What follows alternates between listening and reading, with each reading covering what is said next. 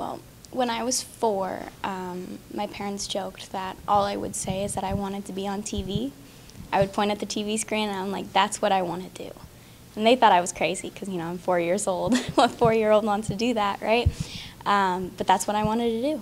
Meet Samantha Bailey, actress, model, and official NASCAR trophy girl who got her first big break on soap opera The Young and the Restless. Uh, soap opera acting is so much different than than other types of like TV shows or movies or anything because often I wouldn't get my script until that morning that I arrived on set.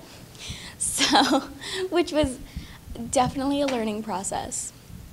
Definitely quick, quick turnaround times.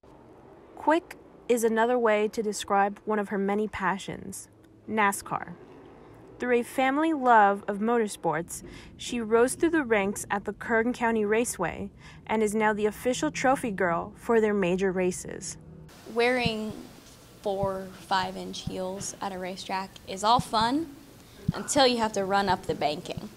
Do you have to like run up to give them the trophies and stuff? I run back to um, the pace truck. So I sit in the pace truck all night, basically. Um, as the pace truck goes around. Mm-hmm. Uh, and then at the end of the race, then I get out and give the trophies, and then I go back to the truck.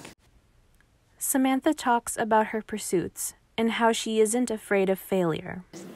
Go for it, and I need to make make it worth it, kind of thing, all the time that I have. So, I get exactly what the statistics are, but it's something like if you book one out of every like 300, 500 like auditions, all the effort and all the time spent, it pays off.